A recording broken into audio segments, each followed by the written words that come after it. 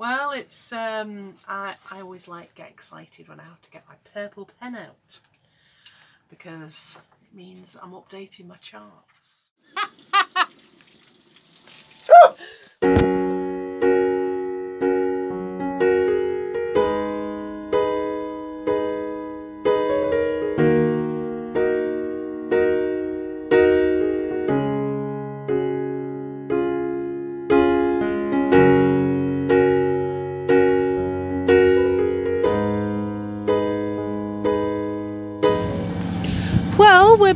Um, doing our compass um, deviation chart because um, our, our viewers and our followers gave us a lot better methodology uh, in which to do it. In that um, we're going to look at um, bearings using particular buoy and markers on the shore. Now we've got uh, Kilroot uh, Power Station, easy peasy. Um, we've got a um, clock tower, which is pretty alright. And then we're also using the marina entrance as well. So we've got a variety of uh, places that we're going to use our bearings. And um, as one of our followers uh, pointed out, that is a lot better.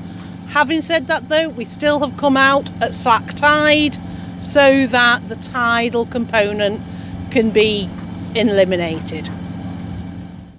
Well, we've taken a whole pile of uh, reverse bearings and forward bearings, and of the two, doing the reverse bearing is much, much harder and very difficult. Um, it's quite hard actually to keep the boat on a constant heading, even for a forward bearing, but um, we've done it, and we've got a whole range of them, and we'll just have to see how they come out when we get back. Yeah, I found um, it quite interesting trying to, like you say, keep the boat steady and um, things like that. It was really hard, but And we had a couple of ferries to dodge. just a couple. But you know, I mean, we um, we stayed out of their way. We didn't get we didn't get particularly close. Well, I, th- I think the closest we got was we were running parallel to the channel at one point, and we were about a third of a mile away from the Stena. So, you know, it wasn't normal. particularly. Normal. I was going to say normal operations um, Yeah. for Belfast Lough, but Very much so. So we've just been keeping an eye. The AIS has been wonderful. Yeah. Well, anyway, we're on our way back to the marina now. Um, there's not really enough wind to do sailing. We have the sails prepped to go just in case, but it's nice to be out. But we're going to go back in now, settle ourselves down, and take it from there.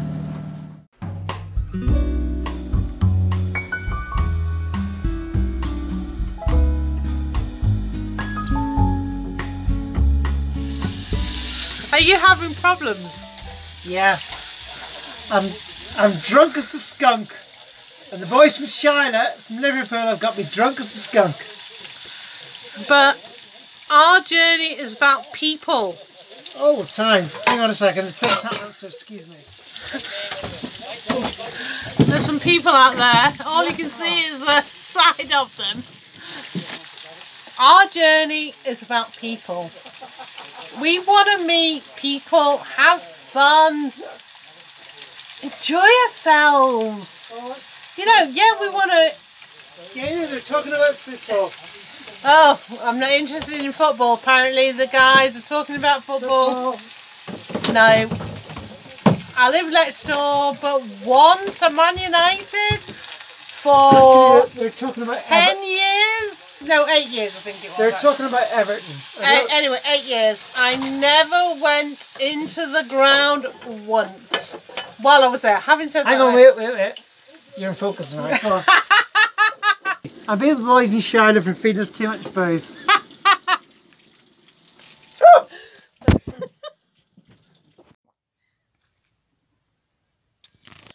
I'm afraid to say Beverley can't hack it.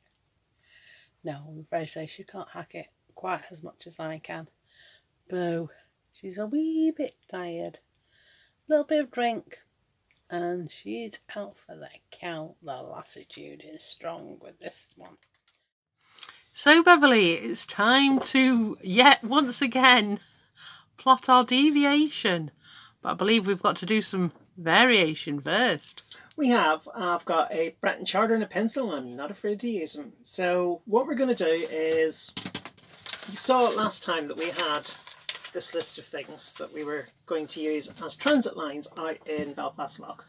Uh, not all of them worked. When we went out to look at them, they some of the things weren't as clear as we thought they were going to be. So necessity is the mother of invention, of course.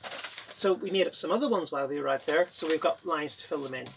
And um, as you can see on this page here, we've covered most of the compass. So we're happy bunnies. So what we're going to do is we're going to put them on the chart and we are going to see how they measure up and we will get our deviation card and we'll plot it in the ship's log and we'll go from there.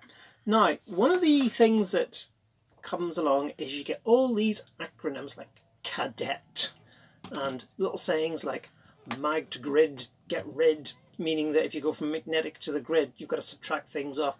And these things are different if you're west or east. So if your variation on your chart is to the west of true, what way around do you do these things? Does mag to grid get rid work if your variation is to the east of true? It's confusing. I find it confusing. Um, there are other variations, mag to grid get rid, cadet, uh, mag dev, uh, oh no is my favourite. Um, no, I just made that one up. Um, so what we've done instead is we've come up with a much simpler way of figuring out what you've got to do. And the answer is here on the chart. And that's the beauty of it. So what we're going to do is we'll show you how we work out rather quickly whether we're adding or subtracting to convert from magnetic to true. So what we've got here is the compass rose on the chart. And as you can see, the true north line on the chart is at zero degrees. No surprise there. But we've also got the magnetic variation marked on the chart and it's saying that on this particular one the magnetic variation is a few degrees to the west. Now what I'm going to do is I'm going to take this and I'm going to draw a line there we go. And you can see that the line cuts the compass rose at 356. So on this chart, 0 degrees north magnetic is about 356 true. So to get from true coordinates to magnetic, I have to deduct 4. Now, uh, Beverley has um, uh, forgotten to um, do the little bits the changing because of course this uh, compass rose was put down in what's the year Beverley it's the year that I forgot to put my glasses on um, the date on this one is 2016 and it varies 10 degrees east each year so I've got to lose 40 minutes off this one yeah. because it's four years so it's not um, 320 it'll be 240 for this year so the upshot of that is that zero degrees magnetic will be two minutes, two degrees, 40 minutes less than zero true. Because look, that's where it cuts the compass rose. Exactly, and that's really, you know, what looking at the compass rose will just help you decide if you're adding or, or subtracting. subtracting. And we can just write it on. We can just write down here, zero magnetic equals 357 true it's, the compass rose will tell me what I'm doing. And I can forget all the acronyms. I don't have to worry about any of them. I find it a lot simpler. If you like to use the acronyms, go for it. So Gaynor, based on yesterday's exercise, mm -hmm. doing these leading lines, what was the biggest problem we experienced?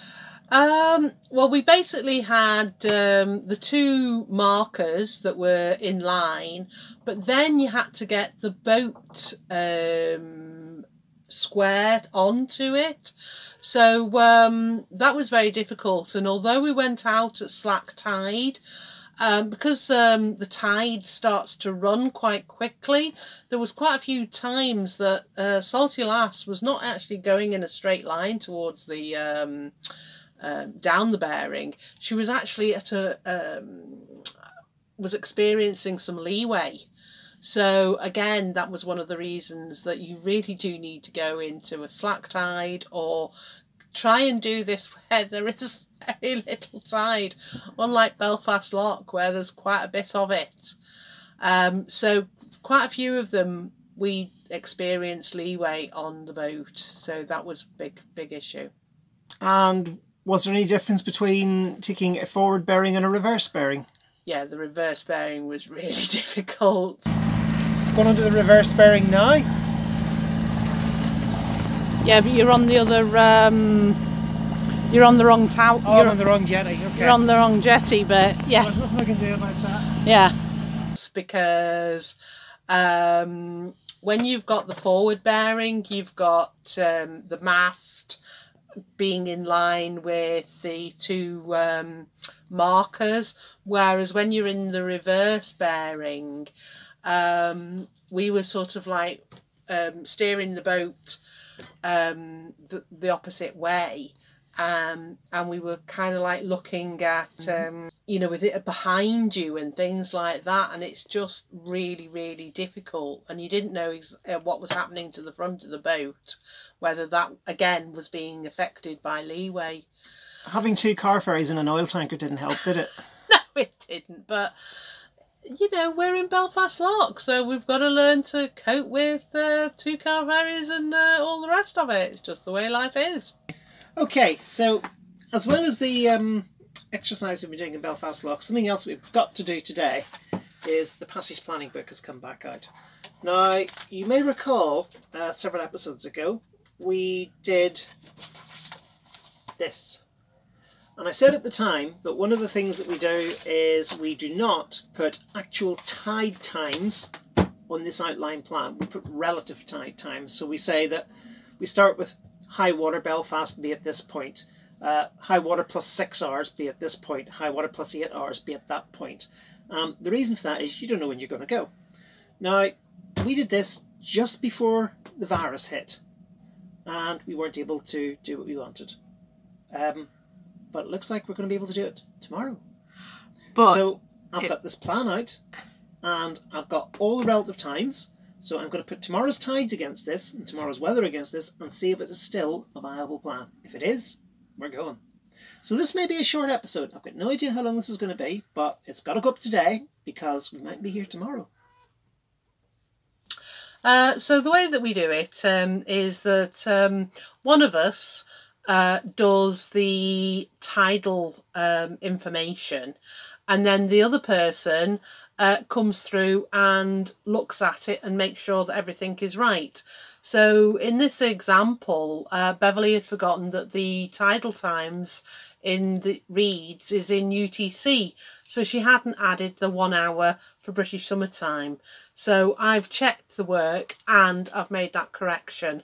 So having us both doing it just means that we um, spot any errors. Well, it's um, I I always like get excited when I have to get my purple pen out because it means I'm updating my charts. Um, obviously, with the electronic charts, um, they're managed to be kept up to date, and you obviously need to update the software. But with paper charts, you don't have that privilege or that luxury. So um, it's purple pen time and uh, in this case I'm going to do a deletion of the word AIS um, and um, I'm just going to make sure that this is the one that they're talking about. But basically these lights were AIS beacons and now they're being removed they've been removed as an AIS beacon. The light's still there but the AIS marker is no longer there with it. Word. AIS gone well, if you um, really need think you need some practice um, with uh, chart work, I would really recommend um, doing um, uh, updating your charts by hand because it, it makes you look at latitude, longitude, and all that sort of stuff. But one of the things that I find uh, that helps is I'm currently uh, updating 5612.1 so I just put it into the search bar and I then search for it and then I'm, I've got all the, the, um, the changes for that chart and then I've done that, that change and then I go scroll down to the next one. Rather than just reading them in the order they've done them. Basically, yeah, you know, I'd rather have the chart in front of me and look for the modifications to that chart using the search bar and then and move on to the next chart. It also means that in this particular set, um, there's a whole load of charts for Portrush. Well, I don't need to do those modifications because I'm not going there.